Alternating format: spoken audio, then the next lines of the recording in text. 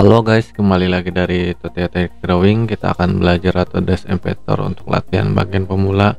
Di sini kita akan belajar cara membuat pipa di Autodesk Inventor.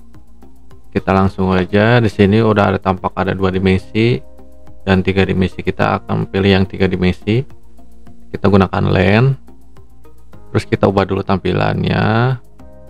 Nah, seperti ini. Terus kita klik di sini. Kita kasih aja 100 terus ke sampingnya 100 lagi. Dan ke atas juga 100 terus ke sininya 100 juga. Dan kebalikannya lagi 100 juga.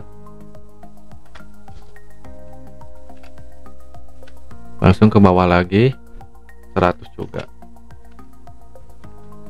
Nah kalau udah seperti ini tinggal kita akan eh, di sini kita akan radiusin atau plan kita kasih 5 aja.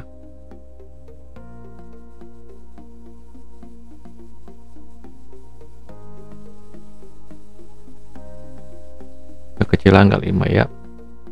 Kalau kekecilan bisa ditambah lagi jadi 10 bisa udah otomatis ya guys ya. Coba kita di sini 10 ngubah nggak semuanya? Ya udah semuanya udah ngubah.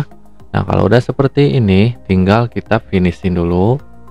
Terus kita atur dulu organit kita ngambil yang ini kita sampingnya seperti ini. Nah terus tinggal kita akan bikin lingkarannya di sini. Nah di sini kita lingkaran nggak usah gede-gede. Kasih aja 20 diameter 20 terus kita finishin kalau kekecilan nanti bisa diubah lagi. Tinggal kita gunakan yang namanya suite nah di sini udah ada tampakannya tinggal klik aja di objek ininya. Nah tampakan e, gambar udah pipa udah menjadi ya guys ya. Tinggal kita oke okay aja. Nah tinggal terus apa lagi? Kalau udah seperti ini ini kan belum berlubang ya belum diameter. Kita gunakan slip di sini.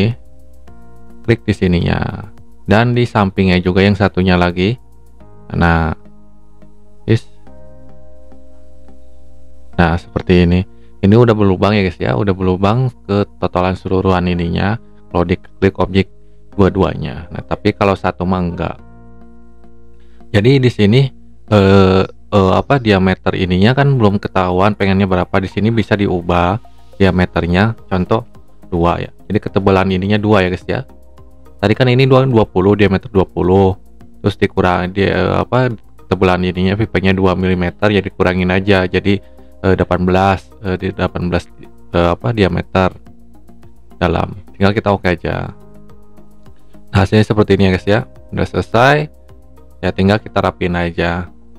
Kita rapihin gunakan eh, rapiin maksudnya kita kasih warna.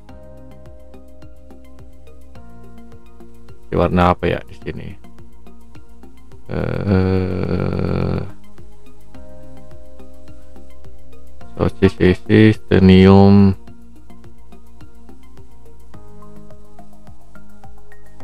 coba yang ini aja eh nih yang ini aja nih. Black nah oke. Okay. itu aja ya guys ya latihan buat uh, membuat gambar cetia. Eh gambar cetia sorry. Gambar buat uh, atau des inventor untuk pipa melengkung Semoga memperhatikan videonya. Kalau ada kesulitan silahkan komentar. Sampai jumpa kembali guys.